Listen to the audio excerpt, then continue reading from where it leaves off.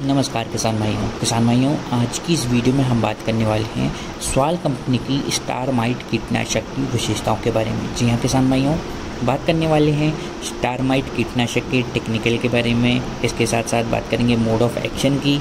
कौन सी मुख्य फ़सलों पर हमें स्वाल कंपनी स्टार माइट कीटनाशक के छिड़काव को रिकमेंड करती है?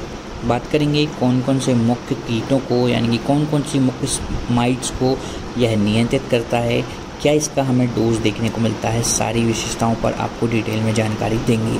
किसान भाइयों, वीडियो एकदम छोटा होने वाला है। वीडियो में आखिरी तक ज़रूर बने रहें और सारी जानकारी हासिल करें।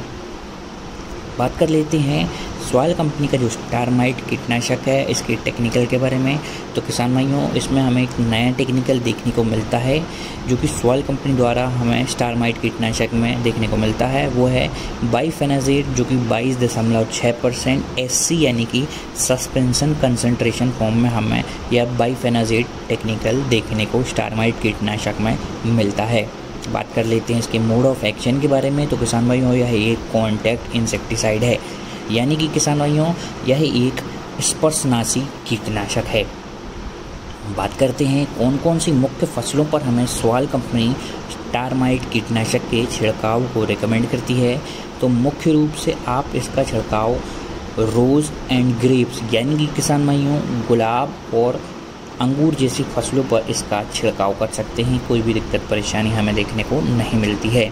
किसान भाइयों, बात कर लेते हैं कौन कौन से कीटों को यह नियंत्रित करता है? तो किसान भाइयों, यह टू स्पॉटेड माइट्स के साथ साथ जो अन्य प्रकार की माइट्स होती हैं, यानी कि किसान भाइयों, कहना चाहिए मुख्य रूप से यह मकड़ियों को हमारी गुलाब और अंगूर की फ़सलों पर नियंत्रित करके रखता है और काफ़ी इफ़ेक्टिव रिज़ल्ट भी हम स्टार माइट कीटनाशक के देखने को मिलते हैं। बात कर लेते हैं इसके डोज के बारे में। तो किसान भाइयों, इसका जो अनुमानित डोज है 200 सौ प्रति एकड़ की दर से आप स्टारमाइट कीटनाशक का छिड़काव अपनी फ़सलों पर कर सकते हैं। किसान भाइयों, अनुमानित डोज में इसलिए कह रहा हूँ, क्योंकि फ़सलों की स्टेजेस के हिसाब से ही हमें दवाओं का डोज लेना चाहिए। तो ध्यान में आपको ज़रूर ये रखना है, जब भी आप दवा का परचेज कर रहे हैं तो दवा के बारे में जानकारी और डोज के बारे में कंसल्ट करना दुकानदार से ना भूलें। तो किसान भाइयों, आज की इस वीडियो में सिर्फ़ इतना ही। मिलते हैं अगली वीडियो में ऐसी ही किसी जानकारी के साथ। धन्यवाद।